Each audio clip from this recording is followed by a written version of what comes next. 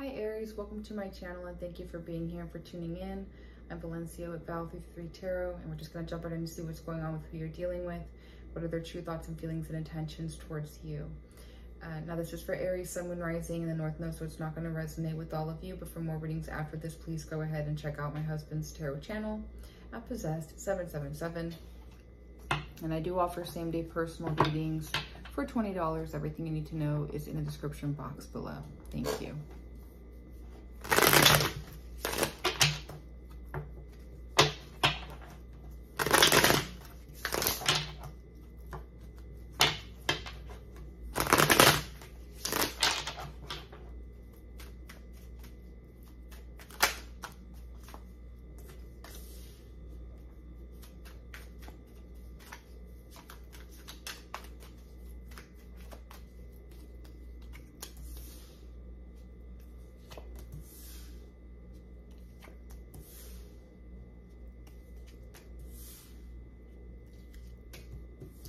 Okay, Aries, this is someone that's in a marriage or a relationship here with you, okay, or is, the, is about to be, okay?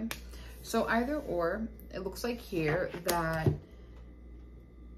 you know, they really do love you and care for you and have fun with you, and there's something here that they feel for you, you know, which is wonderful. They they have fun, okay? They really do care about you. Like I said, they, you know, they feel, you know, like you make them really happy. There's the marriage, the commitment, what you guys have going on together with each other. For some of you, could be family members but it doesn't have to be, um, you know, and right away after that, something about that is what makes them feel extremely guarded towards you for whatever reason. Then they kind of feel like they've settled, they feel a little stuck, they feel bored, but they're still committed here to you and with you. They're trying to figure out what to do.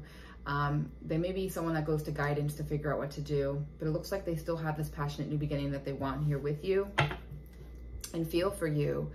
Um, and they kind of just stay more focused on trying to figure out what to do with their own money and finances and or like working with you and making money with you, you know, for the both of you guys.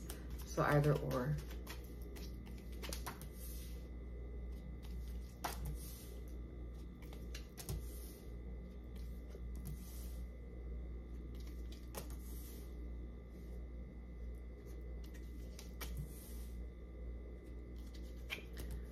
Okay, so I don't know if they had to walk away from a job or it's like making things work with you, especially when it comes to material and finances is what's difficult. It's like after that, that's where it's like having to do it independently on their own um, is what causes them to kind of feel kind of left out or lack of, or like they just don't want to do something anymore. Um, and it looks like there's something about, you know, them knowing they, they need to walk away from you or be done with you or end something here, whatever it is, and they don't want to, it looks like that makes them kind of go back to reverting to their, you know, something from the past or about the past, or maybe thinking about someone from the past. Okay. And it looks like here that that is where there's a lot of pain.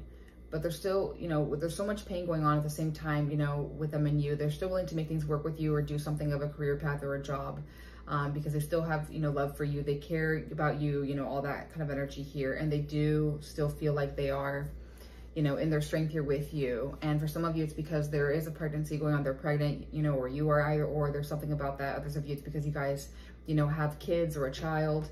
And so they're willing to be neutral and fair with you. But I do see something here towards the end. For some of you, maybe they're having to take care of legal matters here with you or get a divorce. I don't know.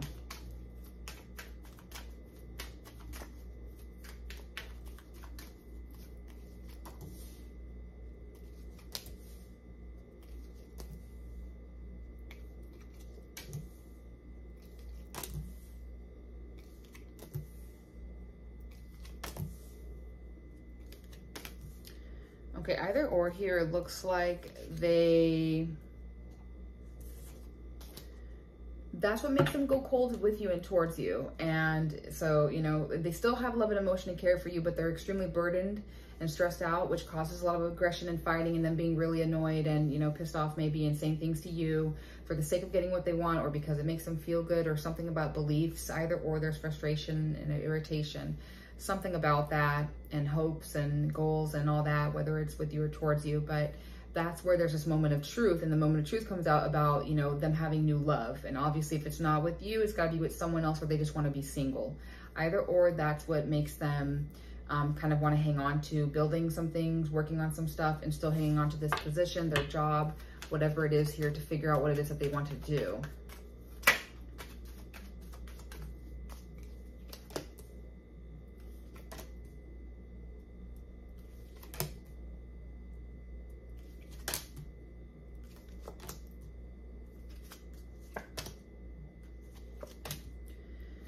Okay, so unfortunately, it looks like here that because of whatever's going on, what they do for work or position or who they are as a person and what the role they play in this marriage or relationship, that's what makes them kind of go through it and look at themselves and their identity and who they are and face so much that something completely closes out and ends between the two of you and it's over.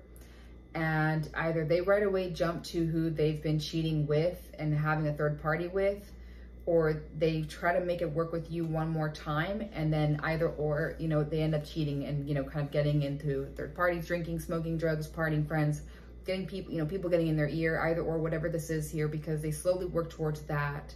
And then instantly after that everything looks so much fun or whatever and then it's like nope there's instant heartbreak after that with them to you.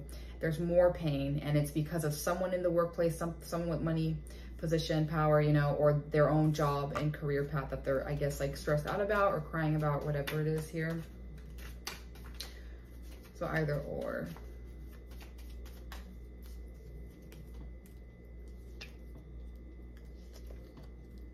So looks like here, that's what makes them feel like they get what they want in the situation and or with you. They feel fulfilled with that, you know what I mean?